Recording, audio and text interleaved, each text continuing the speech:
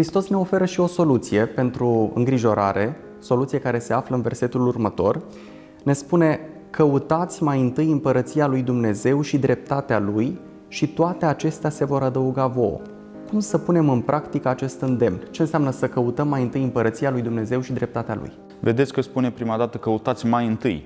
Nu spune căutați exclusiv. Căutați doar împărăția lui Dumnezeu și pe celelalte nu le căutați deloc. Nu, spune faceți-vă ordinea priorităților, iar în, pe această listă a priorităților, pe primul loc trebuie să fie Dumnezeu. Și apoi toate celelalte. Nu spune, nu căutați de nu vă îngrijiți, că n-ai cum să nu te îngrijești de lucrurile astea, trebuie să știi, să ce ai ce să pui pe masă, să ai să te îmbraci, familia și așa mai departe. Trebuie să pui o anumită rânduială și din punctul ăsta de vedere. Și bine ați spus familia, pentru că dacă renunți la tine foarte ușor, la familie e mai greu. Sigur, Copiii au, sigur. au multe nevoi. Sigur, sigur. Și spune, căutați mai întâi împărăția lui Dumnezeu și dreptatea lui și aceste două concepte sunt două concepte cheie pentru Evanghelia după Matei, mai ales împărăția lui Dumnezeu sau împărăția cerurilor.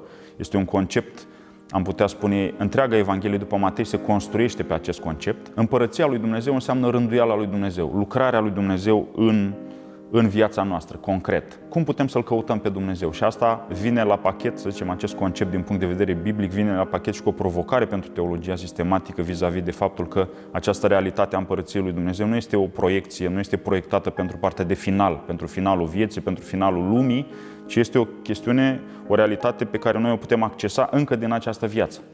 Spune Sfântul Ioan Botezător, pocăiți-vă că s-a apropiat împărăția cerului. Deci lucrarea, prezența lui Dumnezeu, lucrarea, căutați-L pe Dumnezeu mai întâi. Totul începe de acum. Exact. Împărăția este în inima voastră. Exact, spune. exact. Și dreptatea Lui, la fel, ce înseamnă dreptatea?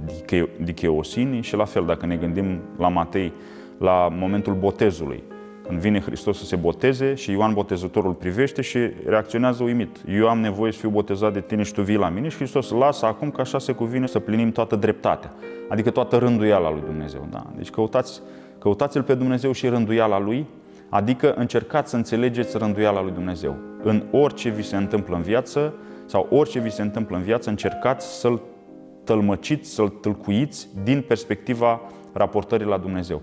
De ce dă Dumnezeu lucrul ăsta? Și de multe ori credincioșii vin la biserică cu această întrebare de ce și de multe ori nu avem răspunsuri mulțumitoare pentru ei pentru această, la această întrebare. De ce? Acum, concret, vreau să știu exact de ce mi-a dat Dumnezeu lucrul ăsta ca să știu eu, să am sufletul împăcat.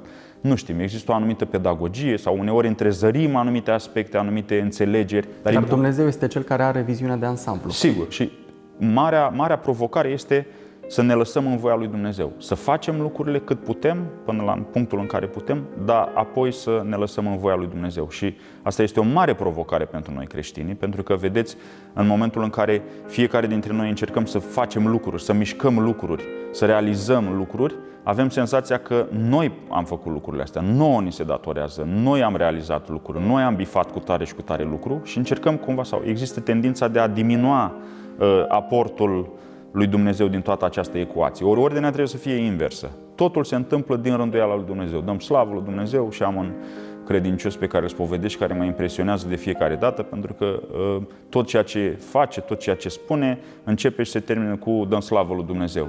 Și atunci e foarte importantă această raportare. Un fel de Iov al lumii moderne. Exact, exact, exact. Și realizezi cât de important este ca tot ceea ce faci să se întâmple în această logică și în această rânduială a lui Dumnezeu, fără de care viața noastră ar părea brutală, să zicem, dacă, dacă îl scoatem pe Dumnezeu din această ecuație, ar părea uh, greu de dus. Haos.